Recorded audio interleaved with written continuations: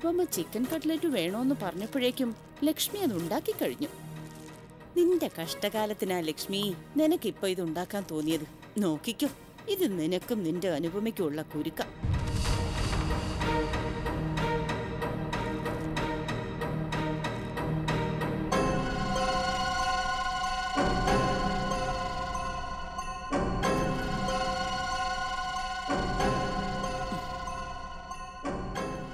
അനു തൽക്കാലം ലക്ഷ്മി ഉണ്ടാക്കിയ കട്ട്ലറ്റ് നീ കഴിക്കണ്ട മോളെ. ഞാൻ കൊണ്ടുവന്ന ഈ കട്ട്ലറ്റ് നീ ഒന്ന് കഴിച്ചു നോക്ക്. അപ്പോഴറിയാം.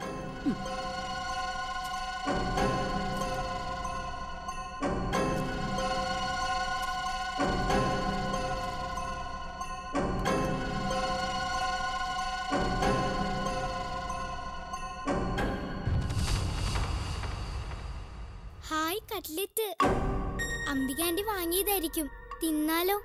വേണ്ട അമ്മയോട് ചോദിച്ചിട്ട് തിന്നാം. ഷോ വേണ്ട. ചോദിച്ച അമ്മ സമ്മതിച്ചില്ലെങ്കിലോ? ഇതിലൊന്ന് തിന്നാൽ ആരറിയാനാ?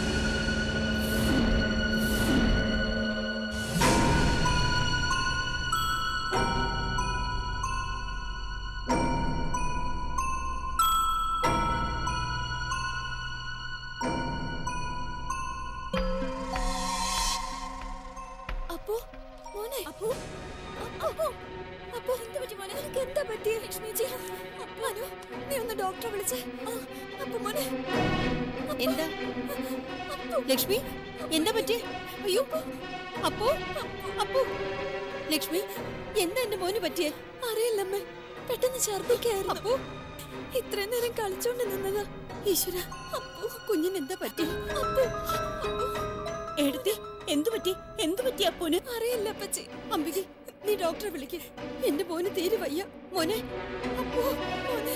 അമ്മേ ഞാൻ ഡോക്ടറെ വിളിച്ച് പറഞ്ഞിട്ടുണ്ട്. ഡോക്ടർ ഇപ്പൊ എത്തും.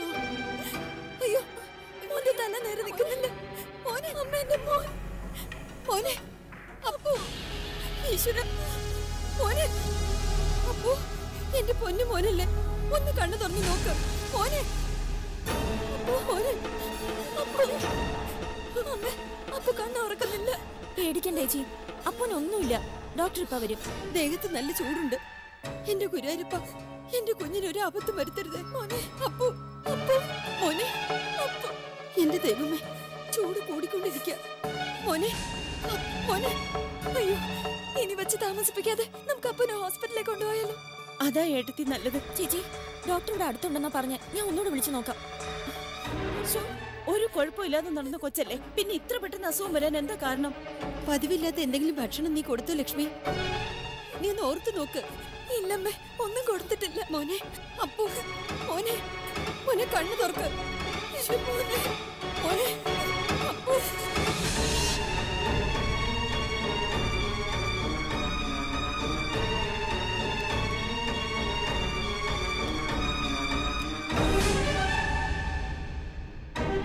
ഡോക്ടർ?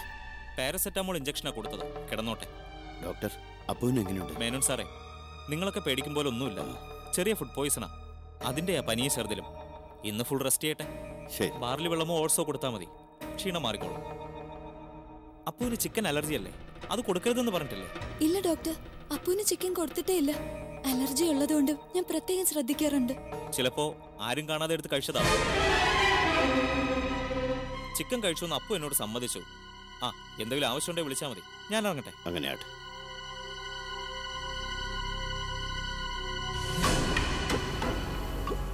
അപ്പുവിന്റെ കാര്യത്തിൽ നിനക്ക് ഇത്ര ശ്രദ്ധയില്ലാണ്ടായോ? അവന്റെ സ്വഭാവം നിനക്കറിയില്ലേ? അപ്പൊ ശ്രദ്ധിക്കേണ്ടത് നീയായിരുന്നില്ലേ?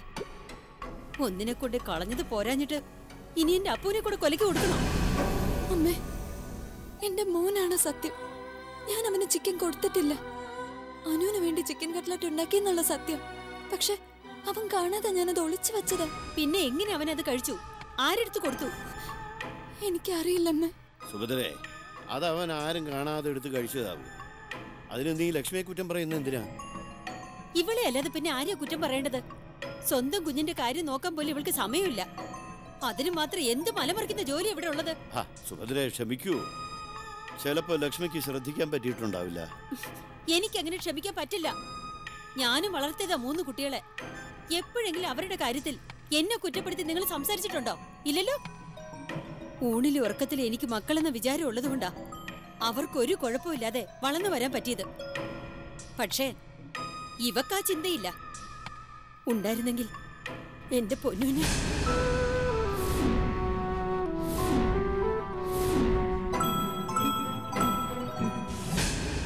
വേണ്ട. ഞാനൊന്നും പറയുന്നില്ല. അമ്മേ ഞാൻ അപ്പൂനെ ശ്രദ്ധിക്കുന്നില്ലെന്ന് മാത്രം പറയരുത്. അതെനിക്ക് സഹിക്കില്ല. നീ എനിക്കൊന്നും പറഞ്ഞു മനസ്സിലാക്കി തരണ്ട. കൂടുതൽ നല്ല പിള്ള ചമയാൻ ശ്രമിച്ചാൽ അപ്പൂനെ കൊണ്ട് ഞാൻ പറയിപ്പിക്കും. അവന് ചിക്കൻ കട്ട്ലറ്റ് കഴിക്കാൻ കൊടുത്തത് ആരാന്ന്? കാണണോ നിനക്ക്? ലക്ഷ്മി നീ എന്തൊന്നും മിണ്ടാതെ നിൽക്കുന്നേ? സത്യം പറഞ്ഞാൽ ഞാൻ ക്ഷമിച്ചൊന്നിരിക്കും. പക്ഷെ കള്ളം പറഞ്ഞൊന്ന് ഞാൻ കണ്ടുപിടിച്ചാ അപ്പുവിന്റെ കാര്യമായതുകൊണ്ട് ഞാൻ എങ്ങനെ പ്രതികരിക്കുമെന്ന് എനിക്ക് തന്നെ പറയാൻ പറ്റില്ല. ലക്ഷ്മി നീ അങ്ങ് സമ്മതിച്ചേക്ക്. വെറുതെ ഏട്ടത്തി വാശി കേട്ടണ്ട ഇല്ല അപ്പച്ചി. ഞാൻ അവന് കൊടുത്തിട്ടില്ല. എനിക്ക് ഉറപ്പുള്ള കാര്യം അത് വേണ്ട. നീ സമ്മതിക്കണ്ട. ആളാരാണെന്ന് ഞാൻ അപ്പൂനെ കൊണ്ട് പറയിപ്പിക്കും.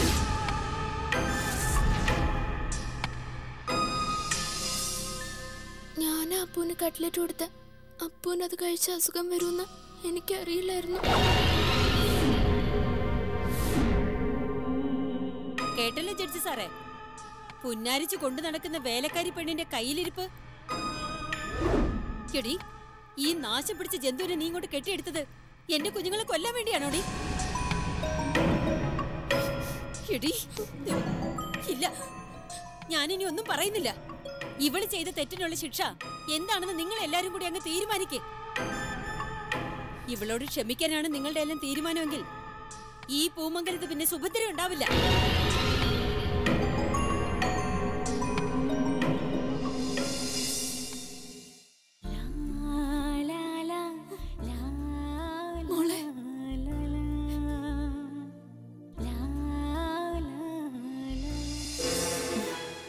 ഈശ്വര എന്റെ പ്രാർത്ഥന കേട്ടല്ലോ. കട്ട്ലറ്റ് അപ്പം എടുത്ത് കഴിക്കുമെന്ന് ഞാൻ വിചാരിച്ചതേയില്ല. ഏതായാലും അവനത് കഴിച്ചത് നന്നായി. ആ ചിന്നുവിനെ എവിടുന്ന് പുറത്താക്കാൻ ഞാൻ എന്തെല്ലാം ചെയ്തു? എന്നിട്ട് വല്ലതും നടന്നോ? ഇതിപ്പോ ദൈവമായിട്ടാ ഇങ്ങനെ ഒരു ഉഗ്രൻ ചാൻസ് കൊണ്ട് തന്നത്. ഇത് ഞാൻ ഉപയോഗിക്കും. നന്നായിട്ട് ഉപയോഗിക്കും. ഇപ്പൊ ഞാൻ പറയുന്നത് എന്തും ഏട്ടത്തെ അനുസരിക്കും. ശോ ദീപവും കൂടി ഇവിടെ വേണമായിരുന്നു. കള്ളനെന്നും പറഞ്ഞ് എന്റെ മോനെ ഇവിടുന്ന് പുറത്താക്കാൻ കാരണക്കാരിയായ ചിന്നുവിനെ എനിക്ക് കൊടുക്കാൻ അവസരം കിട്ടിയല്ലോ. അവൾ പെട്ടിയും പ്രമാണവും എടുത്ത് ഇവിടുന്ന് പോകാതെ ഞാൻ അടങ്ങില്ല. ആ പോക്ക് വേഗത്തിലാക്കാനാ ഇനി അംബികയുടെ ശ്രമം.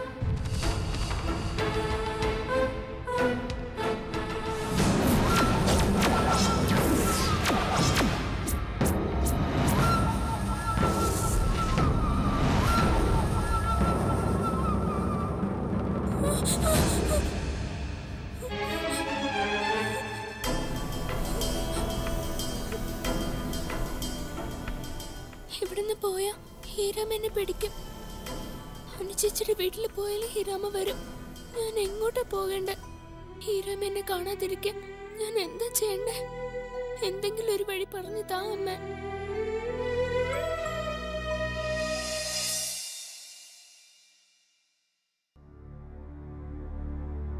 ഏട്ടത്തി ഇതെങ്കിലും ഒന്ന് കുടിക്ക്. ഇന്നത്തെ ദിവസം ഒന്നും കഴിച്ചതല്ലല്ലോ. എനിക്ക് വേണ്ട അമ്പികെ. എനിക്കൊന്നും കഴിക്കാൻ തോന്നുന്നില്ല. എന്റെ മോൻ ഇങ്ങനെ കിടക്കുമ്പോ എനിക്കൊന്നും ഇറങ്ങില്ല. ഇവൻ കണ്ണു തുറന്ന് എന്തെങ്കിലും ഒന്ന് കഴിച്ചിട്ടേ. ഒരു തുള്ളി വെള്ളം ഞാൻ കുടിക്കും. എന്നാലും എന്റെ ഏട്ടത്തി എങ്ങനെ ഓടിച്ചാടി നടന്ന കൊച്ച?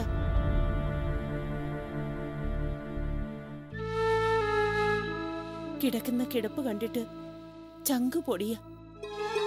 ഈ കൊച്ചു കുഞ്ഞിന് ദ്രോഹം ഉണ്ടാക്കണമെന്ന് മനസാക്ഷിയുള്ള ആരെങ്കിലും ചിന്തിക്കൂ. ആ നശിച്ചവക്ക് നമ്മുടെ കുഞ്ഞ് ഇങ്ങനെ കിടക്കുന്നത് കണ്ടപ്പോ സമാധാനമായി കാണും. മൂന്നു നേരം നല്ല സുഭിക്ഷമായ ആഹാരവും കിടക്കാൻ ഇടവും കൊടുത്ത പൂമംഗലത്തുകാരോട് അവൾ ഇങ്ങനെയൊക്കെ തന്നെയല്ലേ നന്ദി കാണിക്കേണ്ടത്? എന്തായാലും കൊള്ളാം.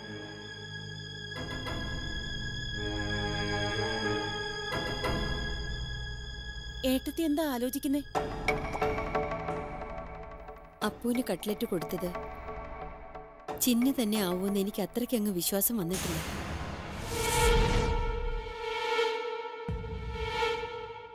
എന്താ എടുത്ത് ഇപ്പൊ അങ്ങനെ തോന്നാൻ? ഏട്ടത്തിക്ക് ആരെങ്കിലും സംശയമുണ്ടോ? അപ്പോ അങ്ങനെ എന്തെങ്കിലും ഏട്ടത്തിയോട് പറഞ്ഞു? അല്ല ഇടയ്ക്ക് ഉണർന്നപ്പോഴെങ്ങാനും അങ്ങനെ പറഞ്ഞോന്നറിയാനാ. ആരും ഒന്നും പറഞ്ഞതുകൊണ്ടല്ല. എനിക്കൊരു സംശയം. ചിന്നു ആണോ അത് ചെയ്തത്? അതോ മറ്റാർക്കോ വേണ്ടി കുറ്റ ഏറ്റെടുത്തതാണോ എന്ന് ലക്ഷ്മി എനിക്ക് സംശയമുണ്ട്. പക്ഷേ അവൾ അപ്പൂനെ പിടിച്ച് ആണയിട്ടു അവൾ ചെയ്തിട്ടില്ലെന്ന്. അപ്പൂനെ കൊണ്ട് അവൾ കള്ളസത്യം ചെയ്യില്ല. എന്റെ എടുത്തി ഇത്രയൊന്നും ചിന്തിക്കാനില്ല. അല്ലെങ്കിൽ ചിലപ്പോ അനു ആയിരിക്കും അപ്പുവിന് കട്ട്ലറ്റ് കൊടുത്തിട്ടുണ്ടാവുക. അവളെ രക്ഷിക്കാൻ വേണ്ടിയാവും. ആ നശിച്ച ജന്തു കുറ്റമേറ്റത്. എന്റെ ഏട്ടത്തി ഇതുപോലൊരു അവസരം നമുക്കിനി കിട്ടില്ല. ഇത് ദൈവമായിട്ട് കൊണ്ടു തന്നതാ. എന്റെ അപ്പുവിന് സുഖമില്ലാതെ ആയതാണോ ദൈവം തന്ന അവസരമായിട്ട് നീ കരുതുന്നത്? അയ്യോ എടുത്തി ഞാൻ അങ്ങനെ പറഞ്ഞതല്ല. ചിന്നു ചെയ്ത തെറ്റ് കയ്യോടെ പിടിക്കാനും എല്ലാവരെയും ബോധ്യപ്പെടുത്താനും നമുക്ക് പറ്റിയില്ലേ? അതാ ഞാൻ പറഞ്ഞത്. ഇനി ആരും അവൾക്ക് വക്കാലത്തും കൊണ്ട് വരില്ലല്ലോ. ഏട്ടനോ ശരത്തോ ചിലപ്പോ ഏട്ടത്തിയോട് പറഞ്ഞു നിരിക്കും. അവളൊരു കൊച്ചുകുട്ടിയല്ലേ അറിയാതെ ചെയ്തതല്ലേ ക്ഷമിച്ചൂടെന്നൊക്കെ. എന്റെ ഏട്ടത്തിയുടെ മനസ്സാണെങ്കിൽ പെട്ടെന്ന് അലിയുന്നതാ. അതാ എന്റെ പേടി. ഇക്കാര്യത്തിൽ നിനക്കൊരു പേടിയും വേണ്ട അമ്പികെ.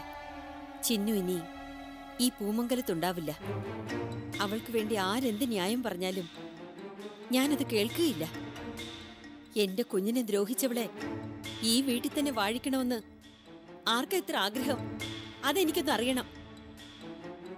ആരെങ്കിലും അതിനൊന്ന് ശ്രമിച്ചാൽ അവരെയും ആ നശിച്ച പെണ്ണിന്റെ ഒപ്പം പൂമംഗലത്തിന്റെ പടി ഇറക്കേണ്ടി വരും എനിക്ക്.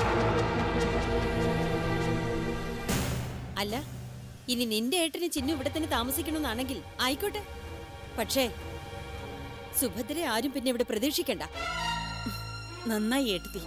ഏട്ടത്തി ഇങ്ങനെ ഉറച്ചു തന്നെ നിൽക്കണം. ആ നശിച്ചവൾ ഇവിടുന്ന് ഇറങ്ങിപ്പോയാലേ എനിക്ക് സമാധാനം കിട്ടും. ഈ രാത്രിയോട് നീ ഒന്ന് ക്ഷമിക്ക. പൂമംഗലത്ത് അവളുടെ അവസാന ദിവസമാണ് ഇന്ന്. നാളെ ആ നശിച്ച ജന്തു ഈ വീടിന്റെ പടിയിറങ്ങുന്നത് നിനക്ക് കാണാം.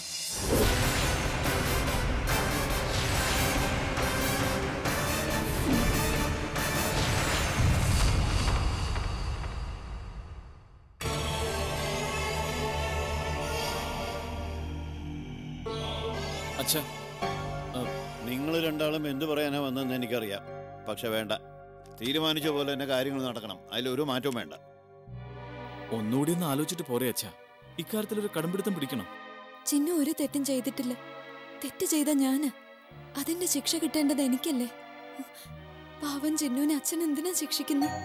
ചിന്നു തെറ്റ് ചെയ്തിട്ടില്ലെന്ന് എനിക്കറിയാം. പക്ഷേ അവൾ ഇവിടുന്ന് പോയേ പറ്റൂ.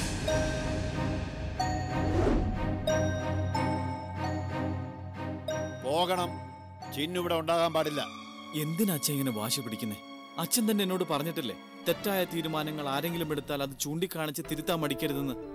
ആ അച്ഛൻ തന്നെയാണോ തെറ്റാണെന്ന് അറിഞ്ഞിട്ടും ചിന്നുവിന്റെ കാര്യത്തിൽ ഇത്രയും വാശി പിടിക്കുന്നത്? അച്ഛ നമ്മൾ ഇവിടുന്ന് ഇറക്കി വിട്ട് അവൾ എവിടേക്ക് പോവും? അവൾ വന്നത് എവിടെന്നോ അവിടേക്ക് തിരിച്ചു പോകും ഇത്ര ഈസി ആയിട്ട് പറയാൻ അച്ഛൻ എങ്ങനെ കഴിയുന്നു?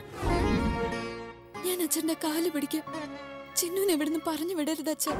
പറ്റില്ല മോളെ ചിന്നു പോണം. അവൾ പോയേ പറ്റൂ. എന്തിനാ? എന്തിനാ ചൈത്രം ഇത്രയും വാശി? നിങ്ങൾ എന്താ വിചാരിക്കുന്നത് ഞാൻ സന്തോഷത്തോടെ എടുത്ത തീരുമാനമാണെന്നാണോ? അല്ല മക്കളെ ഞാൻ അതിന് നിർബന്ധിതനായതാ. അതിന്റെ കാരണം അറിയണ്ടേ നിങ്ങൾക്ക്? ഈ വീട്ടിൽ നിൽക്കുന്ന ഓരോ നിമിഷവും ആ പാവം പെൺകുട്ടി എന്തെല്ലാം സഹിക്കണം? ഇവിടെ വന്നിട്ട് ഒരു ദിവസം പോലും അതിന് സ്വസ്ഥത കിട്ടിയിട്ടുണ്ടോ? നമ്മുടെ സന്തോഷത്തിന് വേണ്ടി മറ്റുള്ളവരെ അവളെ കഷ്ടപ്പെടുത്തുന്നത് കണ്ടില്ലെന്ന് അടിച്ച് ഇവിടെ പിടിച്ചു നിർത്തുന്നത് ക്രൂരതയല്ലേ മക്കളെ? അതുകൊണ്ടാ അച്ഛൻ ഇങ്ങനെ ഒരു തീരുമാനമെടുത്തത്. പോട്ടെ നമ്മുടെ ചിന്നു എവിടെയെങ്കിലും പോയി സന്തോഷത്തോടെയും സമാധാനത്തോടെയും കഴിയട്ടെ. അച്ഛ. അച്ഛന്റെ ഈ തീരുമാനം മക്കൾ അംഗീകരിക്കണം. ചിന്നു അവളുടെ വില ഇവിടെയുള്ളവർക്ക് മനസ്സിലാവില്ല.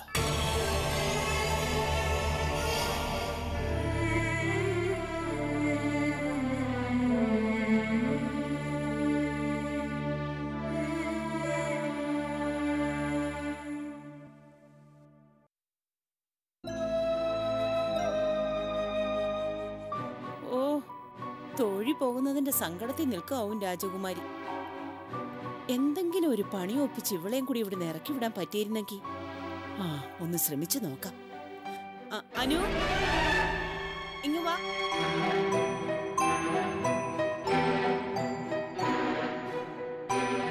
അല്ല കല്യാണം കഴിഞ്ഞ് പെൺകുട്ടികൾ പോകുമ്പോ വീട്ടുകാർ പെണ്ണിന് പല ഗിഫ്റ്റുകളും കൊടുത്തയക്കാറുണ്ട്.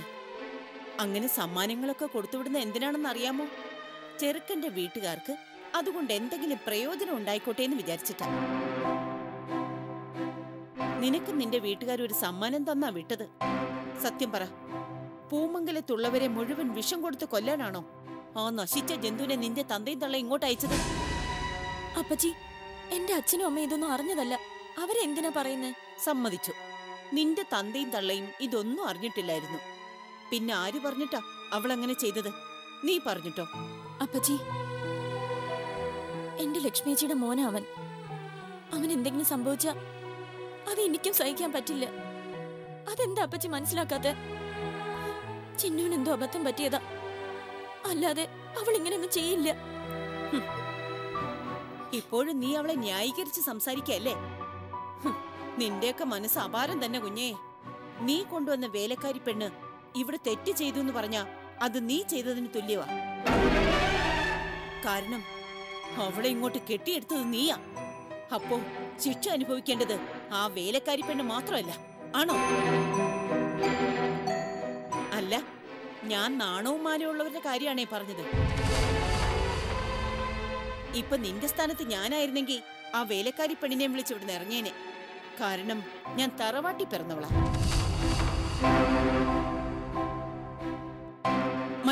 കുത്തുവാക്ക് കേൾക്കാൻ ഞാൻ നിൽക്കില്ല. അല്ല ഓരോരുത്തരും ഓരോ തരവാ. നീ ഇവിടുന്ന് പോകണമെന്നൊന്നും ഞാൻ പറയില്ല. പോകണ്ടെന്നും പറയില്ല. ഇത്രയും കാലം നിന്റെ ആ വേലക്കാരി പെണ്ണിനെ സപ്പോർട്ട് ചെയ്തിരുന്നത് ഏട്ടനല്ലേ? ഇപ്പൊ ഏട്ടനും അവളെ കൈയൊഴിഞ്ഞു. ഇനി എന്താ വേണ്ടതെന്ന് നീ തന്നെ തീരുമാനിച്ചു?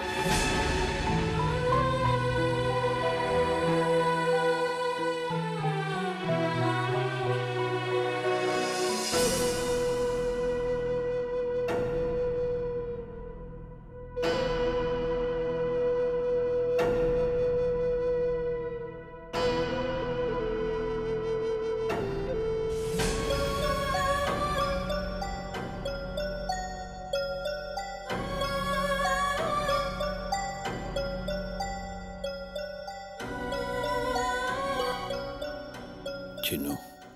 വേണ്ട. ഇനി ഇതൊന്നും മോൾ ചെയ്യണ്ട. ഞാൻ പൊക്കോളാം മുത്തശ്ശ. ഇവിടെ നിന്നും പറഞ്ഞു വിടരുതെന്ന് മുത്തശ്ശനോട് കരഞ്ഞു പറയാൻ വന്നതല്ല ഞാൻ. ഇല്ല മുത്തശ്ശ. ഞാൻ എന്റെ മുത്തശ്ശനെ വിഷമിപ്പിക്കില്ല. എന്റെ മുത്തശ്ശ സങ്കടപ്പെടുന്നത് ചിന്നുവിനെ കാണാൻ പറ്റില്ല. ഇനി ചിലപ്പോ എനിക്കെന്റെ മുത്തശ്ശനെ ഒന്ന് കാണാൻ പോലും പറ്റിയില്ലെങ്കിലോ? മുത്തശ്ശൻ എനിക്ക് തന്ന ജോലി അവസാനായിട്ട് ഒന്ന് ചെയ്തോട്ടെ മുത്തശ്ശ. എന്നെ തടയരുത്.